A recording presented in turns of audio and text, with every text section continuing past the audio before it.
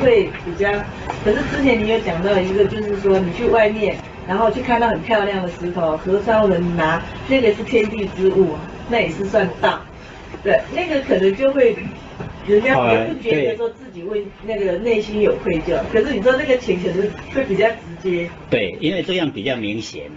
对。哎，啊你到哈那个哦河川啊去去捡石头的话，那还好，它有一些成分啊，就是说。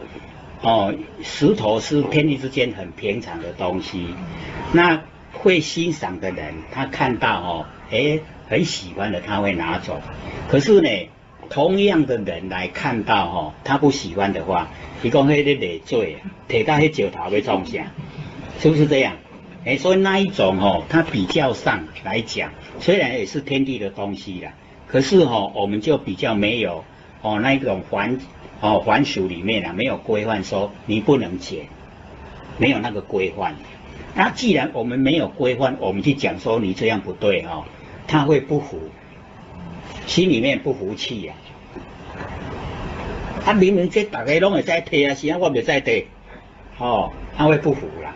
哎，所以我们就不不去讲那个，啊，因为他那个哦角度也是比较多了。哦，你剪你剪了以后，也没有没有人会说话。啊，你不剪哦，也没有人会称赞。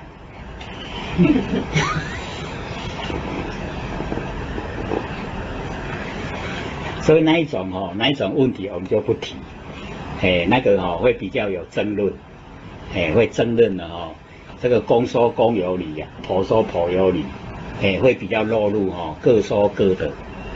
那我们讲的是比较通俗啊，大家都听得懂的。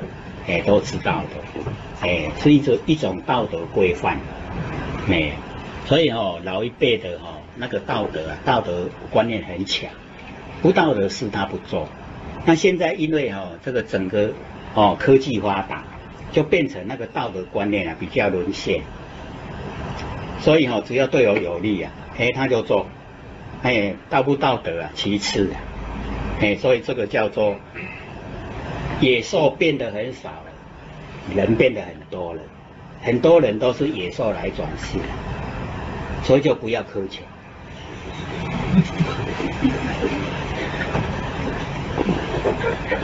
啊，我们都有根基，所以我们要自己努力。